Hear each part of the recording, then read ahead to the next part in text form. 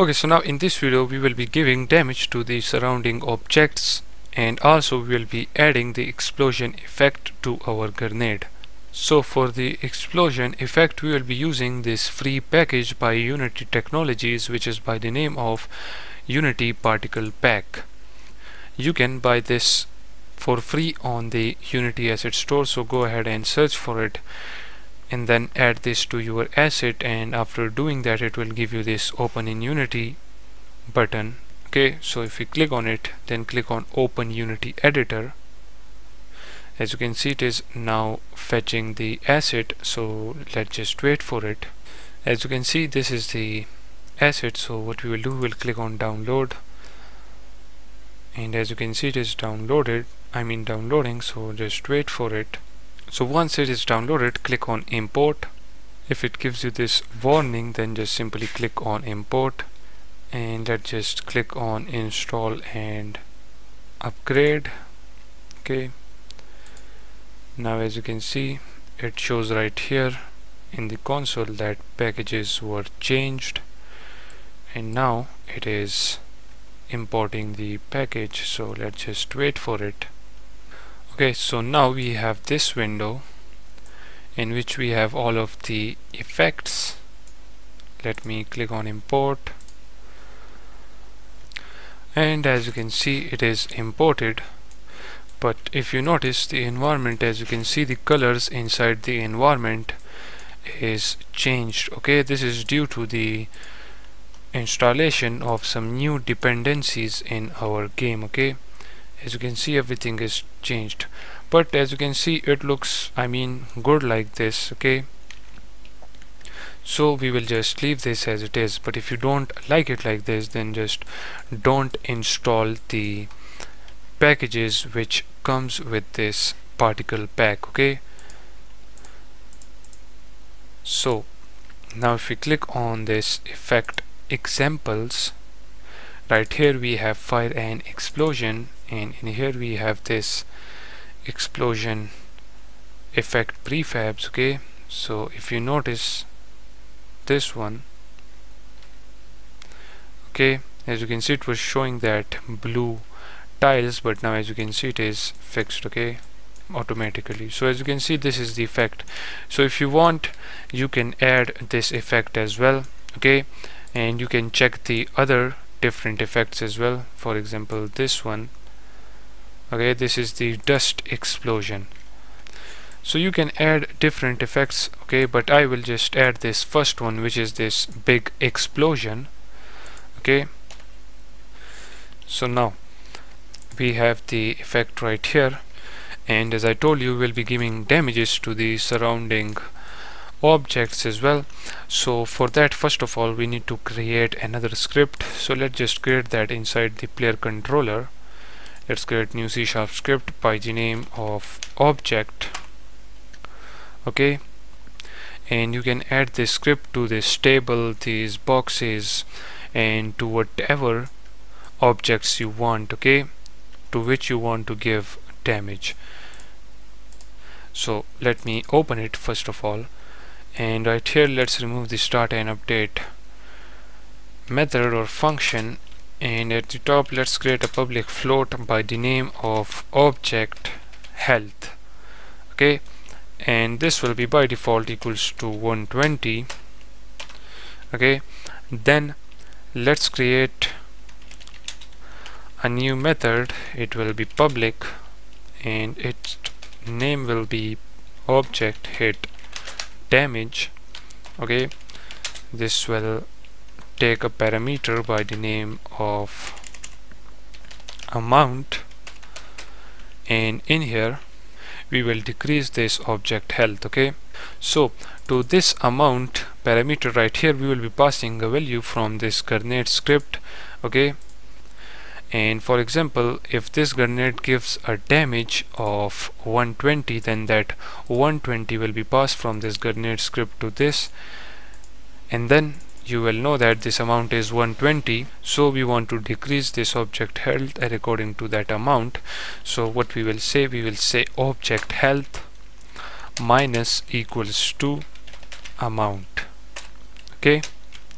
And then we will say that if the object health is less than or equals to 0 then we will simply destroy the object okay so we can create a method by the name of destroy object.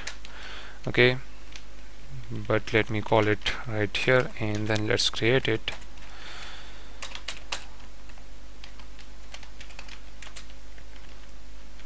In here we will say destroy game object okay? And that is it for this object script. Now let's get back to the grenade script. And at the top let's create a public float by the name of give damage. And this grenade will give a damage of 120 F. Okay? And then we want to pass this give damage to this amount. Okay as I told you and also we want to add the explosion effect. So as you know that we have now the explosion effect. So let's create a reference for it right here. We will say public game object. And let's name this x explosion effect. Then right here we will remove this debug.log now. And first of all we will show the effect and after the effect we will get the nearby objects okay and give damage to that objects okay. So let's start from the effect. So for the effect we will say instantiate or instantiate we will instantiate the explosion effect. So we will say explosion effect. Then to where we want to show this explosion effect we want to show this explosion effect around the grenade.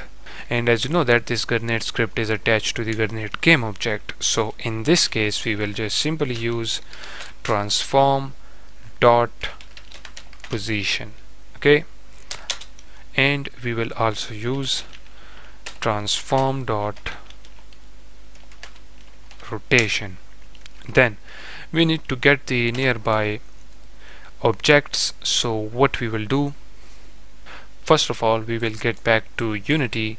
And right here for example if you want to give damage to this table so we will select this table. And as you can see to this table we have attached the box collider okay?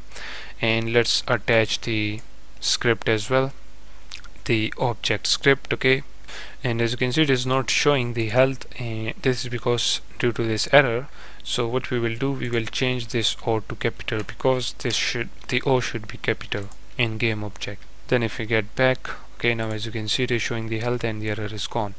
So now what we will do for example if the grenade falls in this area okay right here on the ground then we will give a radius to this grenade and whatever objects are inside that radius we will check that if that objects contain the object script okay. So if it contains the script we will give damage or you can say we will reduce the health okay like this according to the give damage of this grenade okay so now right here first of all let's create a public float by the name of radius and radius will be equals to 10f for now.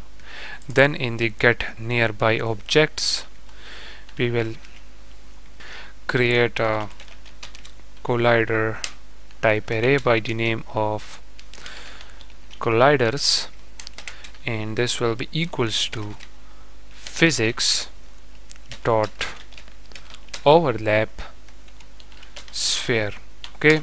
As I told you we'll be giving radius to this grenade okay? So for giving radius we use physics dot overlap sphere. This will basically create a sphere around the grenade so now where we want to create this sphere? Of course near the grenade so we will use transform dot position okay then we want to give a value to this sphere that how big this sphere will be and that value will be the radius okay? Then we will use a for each loop and in here we will say collider. Let's name this as nearby object.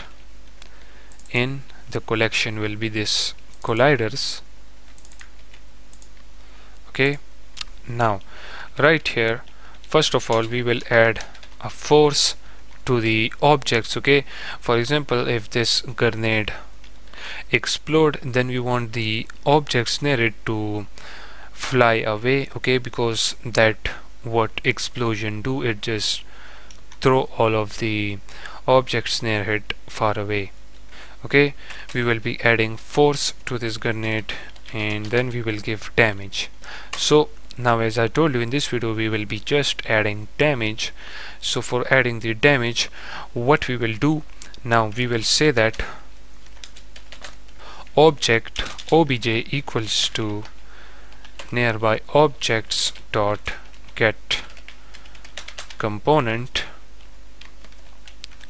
we want to get the object component okay? Or you can say the object script. So we will say object and that is it. What this will do that in the nearby object collection it will check for this or you can say search for the object script okay? Inside this radius. So now we will say that if there is something or some object which which contain this object script then we want to give damage to it. So we will say if obj is not equals to null okay then what we will do we will say obj dot now on the objects we have this object hit damage. So we will say obj dot object hit damage and as you know that this requires a amount so to the amount we will pass the give damage. Okay so we will say give damage. And that will be it. So now in short what this will do? First of all we are getting the nearby objects okay right here. So for that what we did we create a sphere around the grenade and then inside that sphere we check for the colliders. And then we say that if any of object which is inside this radius or you can say sphere contain the object script okay then what we will do? We will say that if it contain the script then we will simply give damage to the object okay? So now give damage is 120 so this 120 will be passed to this amount and then according to the amount we will cut that from the object health. So as you can see the give damage is 120 and the object health is 120 as well. So if the grenade explode near the object it will basically just vanish the game object okay? And also it will show the effect as well. So if you simply save the script get back to unity let's play the game. Now you will notice that when the explosion happens this table will just vanish. Okay? As you can see now it gives this error instead of doing what we expected is because we didn't added the explosion effect right here okay? So if you go inside effect examples then fire and explosion prefab let's drag and drop this big explosion in there. That is it. Now let's play the game again and you will notice when the grenade hits the ground as you can see the table is being destroyed. But you will notice that the grenade explosion is happening again and again. This is not due to our code this is due to this effect. And in order to fix this if we click on this explosion okay actually double click on it in here select the main e big explosion game object okay and right here remove this looping from here okay. Once you remove looping then let's click on the light. From the light remove looping. Then from the ember remove looping okay. And then from this one remove looping. And then remove looping from all of these okay. Or as you can see to that the looping is already off. If we click on smoke tail let's remove looping. And that is it. Okay? Then let's get back right here. Now if we play the game again you will notice that now the explosion will happen only once because we now remove looping. As you can see okay? The smokes are coming out of this still okay? So let me open this up okay looping is removed. But it still have this smoke. And the reason behind this if we click on this debris we didn't remove the looping from there. So remove looping from the debris as well. Now let's play it again. And as you can see now the explosion happens just once. Okay and also we want that when the explosion happens we want to just simply remove this grenade from the surface as well okay? So in order to do that first of all inside the player model or actually let's create a new folder. Let's name this folder as prefabs. And in here let me create a prefab of this grenade okay like this that is it. And then right here outside this for each loop we will simply say destroy. Game object. So now when the explosion happens the grenade and the explosion effect both will be just disappeared like that as you can see. So now this is working perfectly fine. Now in the next video we will continue our work on this grenade